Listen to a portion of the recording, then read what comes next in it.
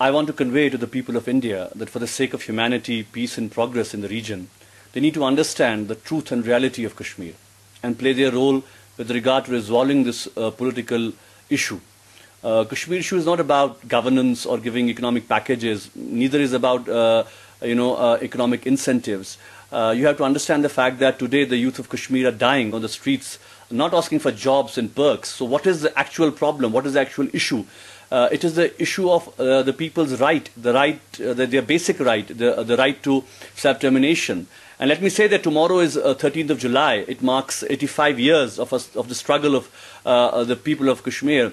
Uh, our fifth generations uh, now uh, has, has vehemently joined the journey for freedom and uh, they are offering sacrifices and they are giving up lives today. So let it be understood that no amount of force or, or, military might or repression will uh, deter them, as it is clear for the past uh, more than 70 years.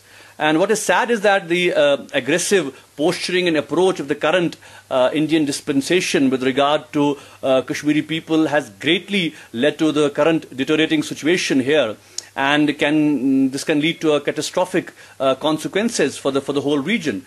The sending of uh, more troops, which the government has decided uh, to, to send more troops to the valley and giving them more powers, giving them full powers to deal sternly with the local populace will definitely add uh, fuel to the fire uh, as, it, as uh, it will be greatly resisted by the people as far as um, they are on the streets are concerned um, the only way out of uh, this problem is, is to address the problem politically, not militarily. And